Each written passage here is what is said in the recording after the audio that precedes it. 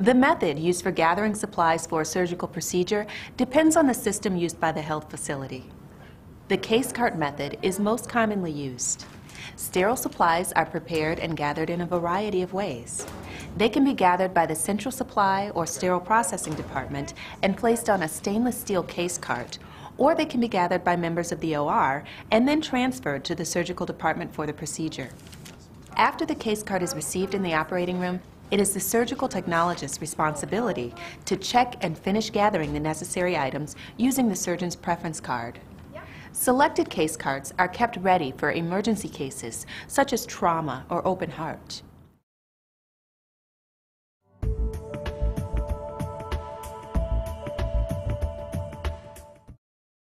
Each surgeon has a card specifically detailed with his or her particular needs for the surgical procedure.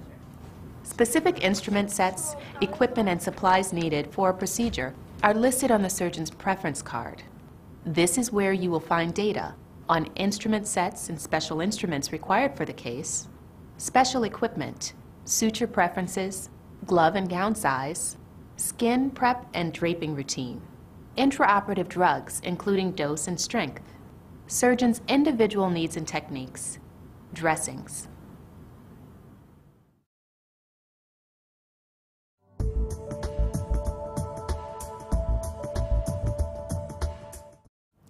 The scrub and circulator arrange the operating room furniture in a logical manner to build the sterile field. Non-sterile equipment, such as the operating microscope or digital imaging cart, are brought in at this time.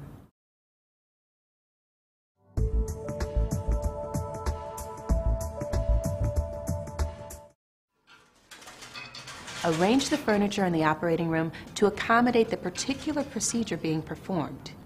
Keep in mind, the room is arranged to prevent contamination of sterile surfaces by traffic and non-sterile equipment. Prior to the first case of the day, all surfaces are damp dusted before placement of equipment and supplies. Place clean linen on the OR table and be sure that arm boards and other table attachments are available in the room.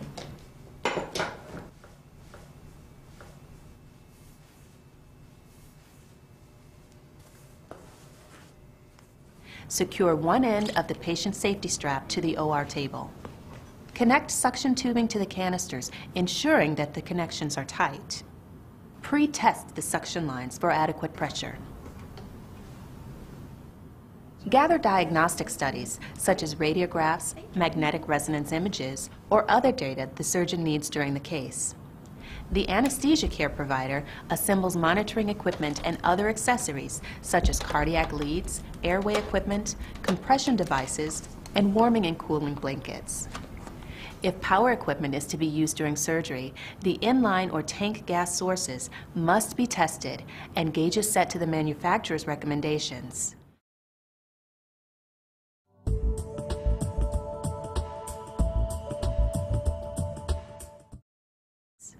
Opening a case means to prepare the surgical suite for a procedure and open sterile items. All equipment and furniture is arranged, and sterile supplies are brought into the room. Depending on the complexity of the surgery, the amount of equipment to be prepared, and the degree of the emergency, the scrub and circulator open the case about 15 to 20 minutes before the start of the surgery. In extremely large cases, more time may be needed to allow for opening of supplies and setting up of the case. After the case is opened, the sterile items should be constantly monitored. The ideal technique is to have someone physically in the room to observe the sterile setup and verify that nothing is contaminated. Covering the setup with a sterile drape is not recommended because of the risk of contamination when the cover is removed leaving a room vacant, and posting a sign on the door advising staff that the room is open is also not an acceptable practice.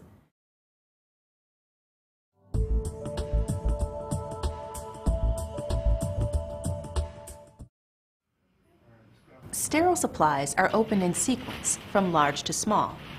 The basic pack, containing towels, drapes, and gowns, is centered on the back table and opened using aseptic technique.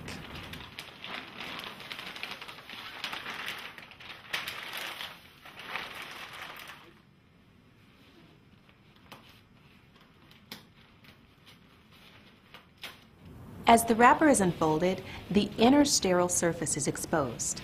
This provides a sterile surface for other items to be distributed. Ideally, counted items, such as sharps, should be opened on the corner of the field together. Heavier items should be opened in the basins. Wrapped basins are opened in the ring stand.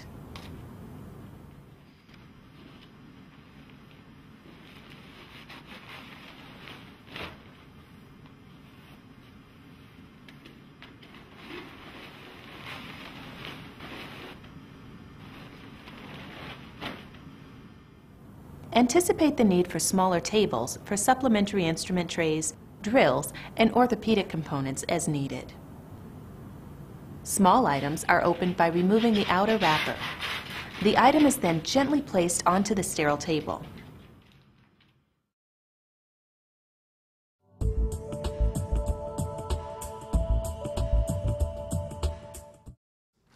Large packs are included in almost all surgical setups and are always opened first on the back table because that is the center of the scrub's work area. These include linen or non-woven gowns, towels, sponges, and other items. Pre-assembled case packs can be custom designed by the institution to include surgical supplies routinely used during specific types of surgery. Some commonly pre-assembled packs include abdominal, orthopedic, and minor surgery packs. Before opening any sterile pack, be sure to check the integrity of the outside of the package for strike-through and the external indicators for verification of exposure to the sterilization process. Okay. Oh, whoop, there's a hole. Any packages with tears, holes, or watermarks are contaminated and should be removed from the room for reprocessing and replaced with new packs. To open the large pack, which is positioned on the back table, center the pack on the table and orient it so the long ends of the outside drape line up with the long end of the table. If the pack is very large and has been square wrapped, the recommended practice is to move around the package rather than reaching across. In this case, grasp the folded edge of the top fold with both hands and pull the edges toward you. Tear along the perforated tape of the outer wrap. Remove the prep tray and scrub gown. Place the prep tray on the prep table and the scrub gown on a surface for gowning and gloving after scrubbing. Move to the other side of the table and repeat this process on the opposite top fold. Allow a one inch margin between the edge of the drape and your non-sterile hand. Remember not to lean over the table while opening the pack. Keep a safe distance away. Do not readjust the table drape after it is opened. After the large pack is unwrapped, instruments, suture packs, and other sterile items are opened onto the draped surface.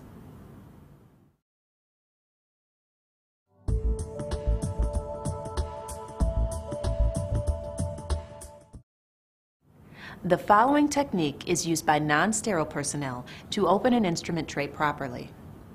When opening large instrument trays, rigid container trays, or other heavy equipment, set the tray on a small table and then open in place.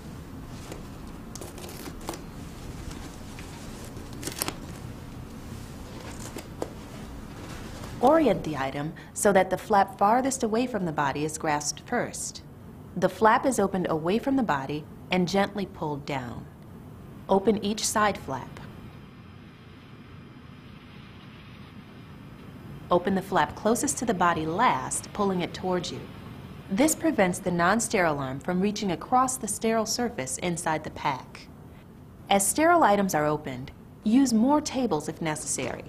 Do not stack heavy sterile instruments precariously high or in such a way that they might be dropped. Avoid holding a heavy instrument tray in one hand and removing the wrapper with the other. This puts excessive strain on the wrist and you may drop the tray. Put the tray on a non-sterile table before opening the wrapper.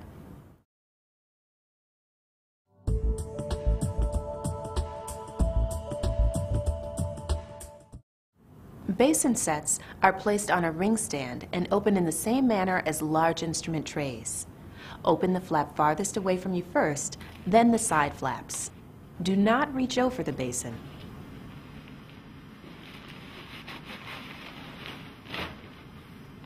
It is better technique to move around the sterile package and pull flaps toward you. Omar, this is contaminated with moisture. Okay, sure is. All right, give it to me and get you another one. Thanks. If water is found in any basin upon opening the sterile wrapper, the basin is considered contaminated. This is caused by a problem in steam sterilization and must be communicated to the central processing department. The load in which the basin was sterilized will be located and items removed from service.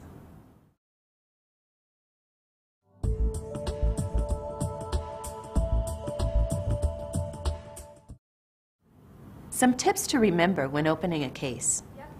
Always maintain a safe distance from the sterile surface to avoid contaminating them, but stand close enough to accurately distribute the item you are opening to the sterile field. When opening packages wrapped in non-woven or paper wrappers sealed with tape, break the tape rather than tearing it. This prevents the outer wrapper from ripping and causing contamination.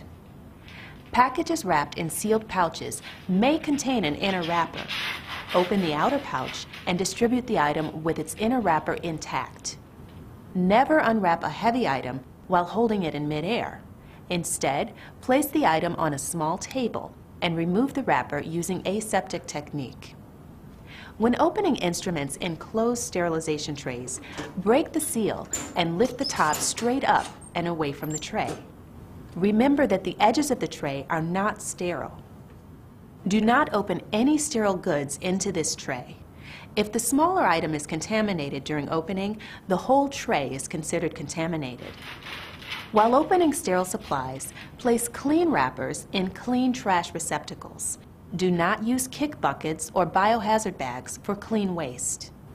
Extra sutures, special equipment, and implants should be held unopened until the surgeon asks for them. This prevents waste. Sharps are opened during the setup. The circulator opens the outer packages and the scrub technologist removes them and places them in a sharps holder. Open the scrub person's gown and gloves onto a small table or Mayo stand, not on the back table.